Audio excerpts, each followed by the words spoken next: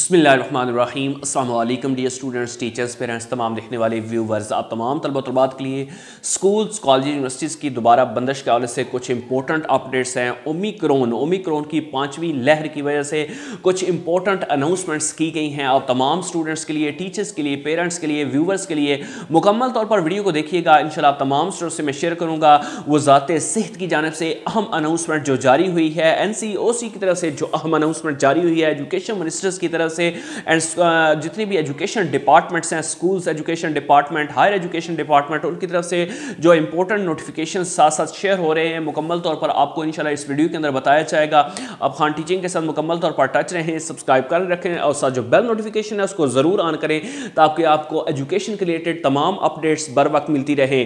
तो dear students आप तमाम तलबा तलबात को बता चलूँ। सबसे पहले कि ओमिक्रोन ओमिक्रोन जो है पूरी वीडियो को देखिएगा क्योंकि इस मुकम्मल तौर पर आपको मैं इंशाल्लाह इंशाल्लाह इस वीडियो के अंदर बताऊँगा। ओमिक्रोन की जो पांचवी लहर है, इसका सबसे पहले जो है वो एशियन कंट्रीज़ के अंदर अभी इसकी लहर के असरात जो हैं वो बिल्कुल ख़तरनाक हद तक पहुँच चुके हैं, क्योंकि पाकिस्तान के अंदर जो केसेस हैं वो डेली बेसिस पे रिपोर्ट हो रहे हैं। पाकिस्तान के अंदर मुख्तलिफ़ जो सिटीज़ हैं बड़े बड़े बिग सिटीज़ हैं, जिसमें इस्लामाबाद है, जिसमें मुख्तलिफ़ केसेस जो है वो रिपोर्ट हुए। बहुत ज़्यादा केसेस रिपोर्ट अब हो चुके हैं।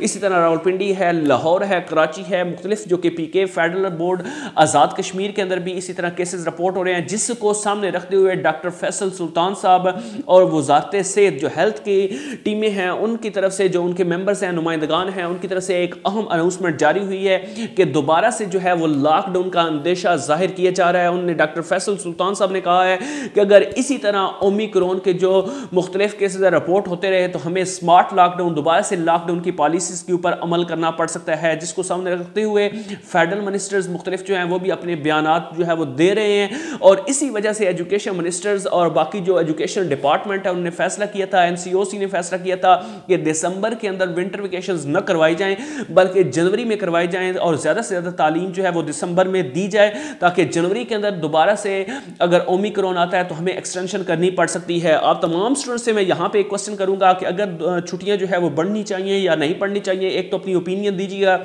दूसरा एग्ज़ाम 2022 के अंदर स्मार्ट सिलेबस होना चाहिए या नहीं होना चाहिए, ये दो क्वेश्चन जो है वो आपके बहुत इंपॉर्टेंस रखते हैं। तो आप तमाम तलबा तलबा दोनों के आंसर ज़रूर दीजिएगा कमेंट सेक्शन करो वीडियो को लाइक कीजिएगा शेयर कीजिएगा, ताकि बहुत सारे जो स्टूडेंट्स हैं वो इन्वॉल्व हो सके इस कमेंट सेक्शन के अंदर। आप तमाम तलबा तलबात को मैं क्लियर कट यहाँ पर बता चलूँ कि छुट्टियों की एक्सटेंशन अगर यहाँ पर जो है वो दी गई तो इसी वजह से जो है एजुकेशन डिपार्टमेंट को कह दिया गया है कि और बोर्ड्स को कह दिया गया है। इसी तरह के तमाम स्टूडेंट्स जो हैं अगर उनकी छुट्टियों में एक्सटेंशन दो, जनवरी, फरवरी के अंदर ये चली जाती है, छुट्टियों के अंदर एक्सटेंशन हो जाती है तो फिर 2022 के एग्ज़ाम जो है, वो भी स्मार्ट सिलेबस में से लिए जाएगा। क्योंकि इस दफ़ा भी साल जो है, वो न्यू सेशन जो है, वो फैसला किया गया यकम अप्रैल से दोबारा से शुरू करने का, पाँचवीं, आठवीं के जो एग्ज़ाम है, वो मार्च में लेने का फैसला किया गया है। इकतीस मार्च को रिज़ल्ट अनाउंसमेंट की जाएगी। और बोर्ड ने जो कहा है कि नाइन्थ और टेंथ का जो एग्ज़ाम है, और जो फ़र्स्ट ईयर सेकेंड ईयर का एग्ज़ाम है, वो आगे लिया जाएगा 2022 का मई और जून के अंदर।